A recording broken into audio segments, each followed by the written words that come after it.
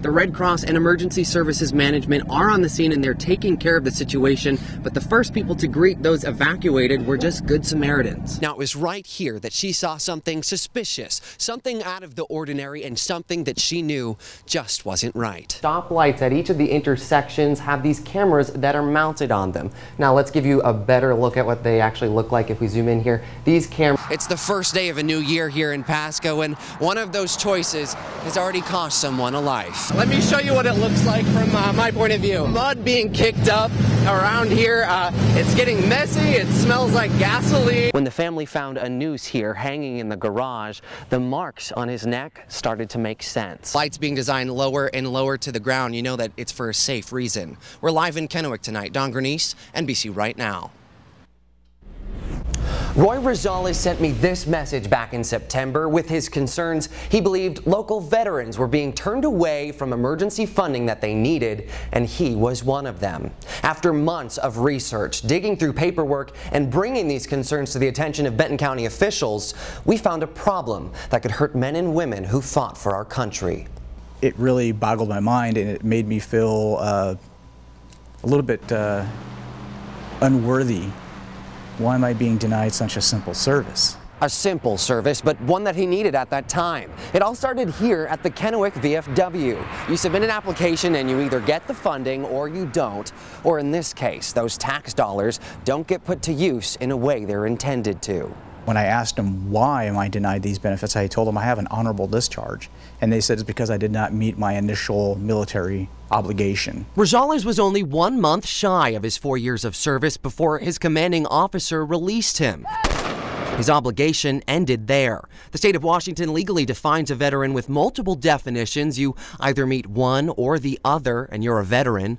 But that's not how it worked in Benton County. Fellow veterans stating that they were following rules and regulations. But the wrong way. Pat Powell has led the Veterans Advisory Board for years, and he even wrote a letter to a Washington legislator when he questioned the law. He thought a veteran had to meet both legal definitions. He also thought the honorable discharge didn't warrant what he called entitlement. Sorry, you're not eligible because this is how we interpret the RCW. How can someone sit there especially another veteran, say, sorry, Mr. Veteran, you're not qualified. Now, these people on this Veterans Advisory Board, they're just citizens. That's correct, but that's why we have them to um, advise us on, you know, what the decision is, and we take that advice very seriously. And if they feel that someone doesn't qualify, then we usually take that advice and move forward with that. What if they were wrong in this case? If they were wrong in this case, then we would make every effort to rectify that. Rosales had used the fund back in 2010. He had no issues. So when he applied again this past September, why the sudden change? It's a good question. If someone was served in the past that was not eligible now, then that must have been in error um, in the past. And that's, you know, really all I can say about it. So you think it was an error in the past and not an error currently? Mm-hmm. Rosales decided he wanted to appeal the decision, not just for himself, but for a number of other local veterans who could be in the same boat. How long and how much more do other veterans like myself who are being, let's say, discriminated against or chosen from are going to suffer when we are in need. Benton County commissioners recently heard both sides at a special hearing and after noticing the mistakes made, granted Rosales his appeal. A veteran is a veteran in my eyes. Doesn't matter if he lives in a mansion or he lives in a cardboard box. We all served. There's a brotherhood, and we need to respect that. Because of his appeal and the concerns that he brought up, the county will change their policy and the way they deal with the Veteran Relief Fund, making sure that the money gets to the right people. In the studio, Don Granese, NBC Right Now. While I was standing there trying to talk to him, uh, he was pointing his gun at me, and uh, his finger was on the trigger his hands were shaking.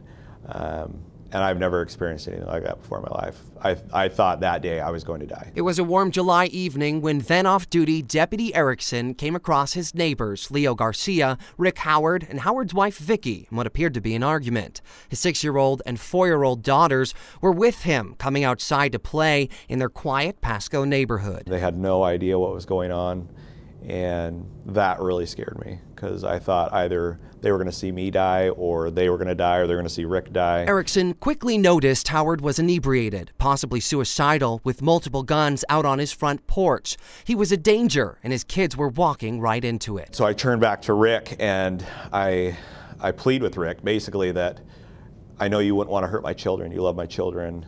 You know, accidents happen, your gun could go off um, you know, please put the gun down. He tells me that if I come back outside with any of my guns, that he would shoot and kill me. So he brings the kids inside. Knowing Leo and Vicky are still out there seeking cover, it's time for serious help. Can you have County 16 respond to my residence? Emergency. Erickson, who's now watching the situation from his first floor window, grabs his gun. As he's on the phone with emergency dispatch, he hears a shot from inside the Howard's home. He starts to lift the gun up and point it in at Leo and I thought that he was going to, to shoot Leo at that time. And so um, I, I took my gun and I uh, punched it through the screen and uh, started shooting at Rick. Shot fired.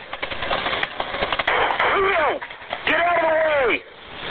Rick, put the gun down! The deputy's shots weren't fatal. They sprayed Howard's porch and forced him back inside. Leo, lay on the ground.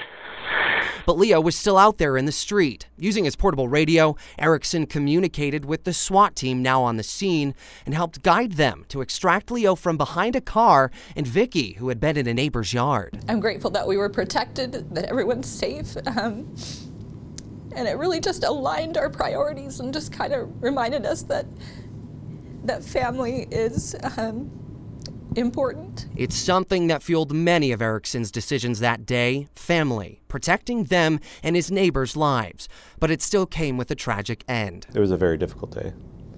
Um, I, I thought I was going to die, and I thought Leo was going to die, and I thought my kids were going to die. When Howard was eventually shot and killed by officers that night, Erickson knew he wouldn't be saving everyone that day. There's nothing else like it um, after you're involved in a shooting. Um, you feel uh, very alone, um, and that's scary um, because I have a wife and kids and I have a house, and I know that when I put this uniform on every day, um, I potentially put that at risk. But it's taking that risk sometimes, even when the badge isn't on, that makes Jason Erickson a Red Cross real hero. Don Granese, NBC Right Now. What do I do? Uh, what's going on? Um, where do I go? Um, I hope my friends are okay. What is this?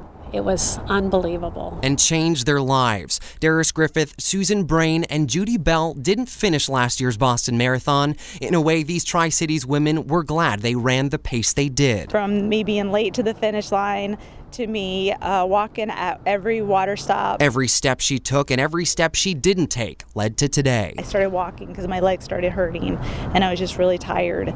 And I knew that uh, when I saw the video that I could have been there. And I wasn't.